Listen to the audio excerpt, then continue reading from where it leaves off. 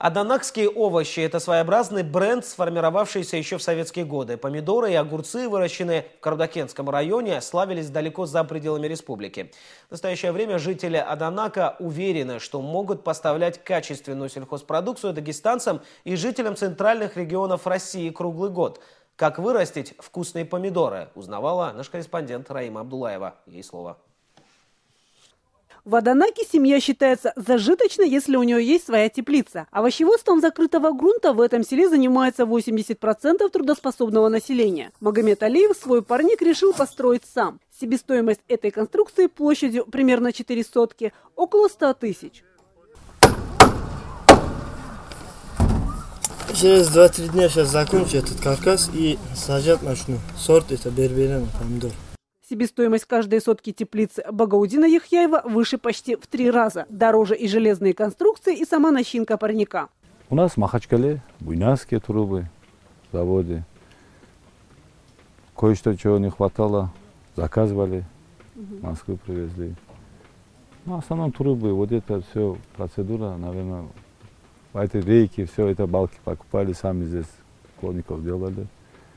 Полив строго определенное время, примерно 600 граммов воды в сутки при средней температуре и до 3 литров, если жарко. А еще шмели для опыления цветков этих розовых помидоров сорта Pink Paradise. Сегодня мы находимся здесь а, на пол гектара теплицы.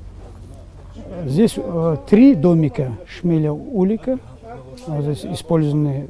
Значит, они, вот мы посмотрели здесь на цветы, они уже их оплодотворили. Значит, работают шмели, работают, они будут работать еще где-то месяц-полтора.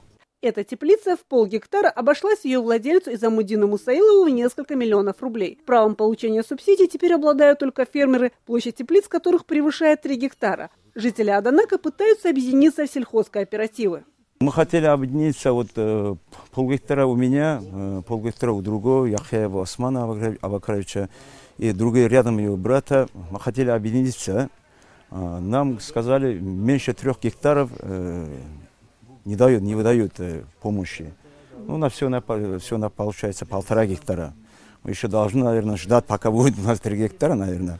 Единственный овощевод, получивший помощь от государства в Аданаке, Улуби Алиев. Сумма гранта чуть больше миллиона рублей. Конечно, этих денег недостаточно, чтобы построить такую современную теплицу, да еще со стеклянной крышей. Но и это ощутимые средства. В 2014 году участвовал Э, конкурсе «Начинающий фермер». Э, получили грант, грант на строительство теплиц.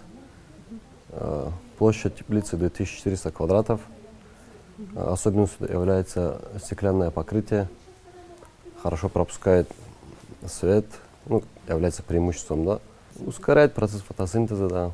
Общая площадь теплиц в Аданаке порядка 18 гектаров. За короткое время продукция дагестанских тепличников смогла составить конкуренцию иностранным овощам. Закупочная цена на розовые помидоры, выращенные в нашей республике, в отдельных районах превышает 300 рублей за килограмм. Раим Абдулаева, Гаджи Магомедов, Заур Магомедов. Время новостей.